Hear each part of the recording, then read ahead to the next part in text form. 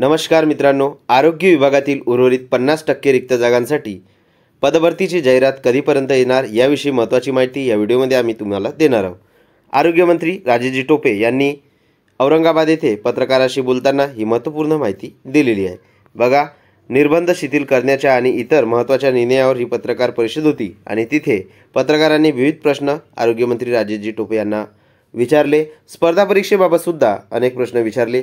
त्याबाबत माननीय आरोग्यमंत्री काय बोलले हे आपण इथे बघणार आहोत. बघा आरोग्यमंत्री म्हणाले निर्बंध शिथिल करण्याबाबतची फाईल आमच्याकडून पाठवण्यात आली आहे.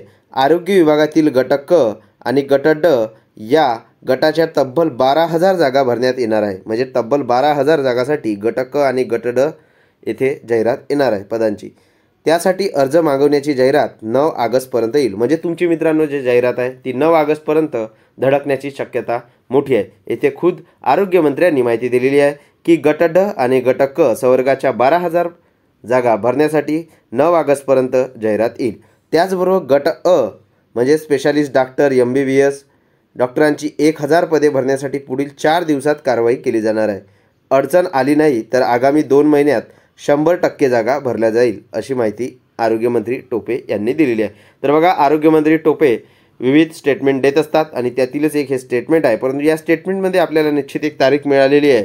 यामध्ये ते म्हणतात की नऊ ऑगस्टपर्यंत गट ड आणि गट क संवर्गाच्या ज्या बारा हजार पदा भर बारा हजार पदे भरायची आहे त्या बारा हजार पदांसाठी लवकरच जाहिरात येणार